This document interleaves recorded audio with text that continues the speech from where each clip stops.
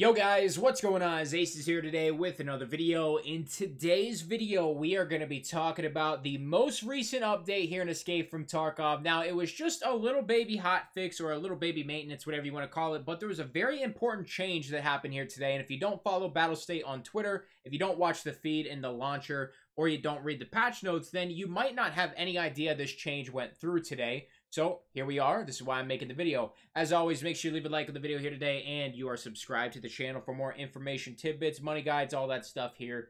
Um, you'll enjoy your stay. I can promise you that. So make sure you hit that sub button. So I'm going to throw the tweets on screen for you guys. This first one here is after the maintenance is complete. So you'd have to read the thread. But the first tweet is, now when a blacked out limb gets shot at, the damage will be distributed across all non-destroyed limbs. Before this, blacked out parts also counted for distribution, which mitigated some of the overall damage. So, for example, if you got shot in the leg and your leg was completely blacked out, and you got shot again in your blacked out leg, some of that damage would go into that blacked out limb already, which is, you know, it's already at zero, so it kind of didn't matter that extra bit of health that you would lose. Now, that damage that was originally going into your already blacked out limb is going to be going into the rest of your body. So, you know, the way I understand it is, let's say 35 damage was taken away from the, you know, round that might have 150 flesh damage. Let's say 35 of it was taken away at the overall distribution. Well, that now, that 35 is going to be redistributed amongst your other limbs. So, essentially, you will take 35 points more of damage. That's how I understand it. If I'm completely wrong there, let me know in the comments. Just lay it out straight up. But um, that's just how I interpreted it. I didn't do any additional research into it, so don't absolutely bash my skull in in the comments if I'm wrong.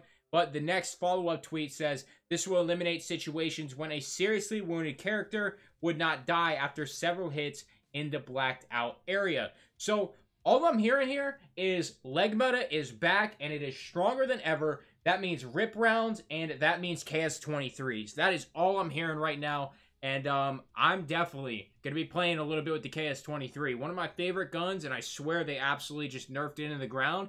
Now, if the KS-23 is viable, man, I'm going to have some fun in Factory, that's for sure.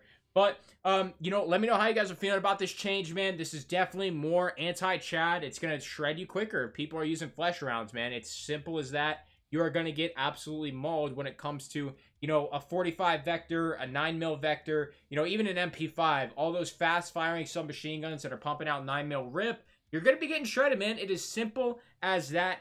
Um, I personally am a big fan of rip rounds. I got, you know, roasted for it last time, but guys, rip rounds are so good.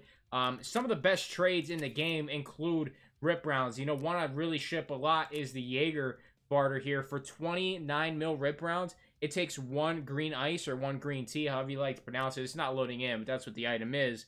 Um, there you go, one green ice. I mean, this is 4,000 rubles for 20 rounds of rip. You're going to be good all day long with 20 rounds of rip. I mean, that's going to take down a PMC. And all you got to do is pay four grand for it, man.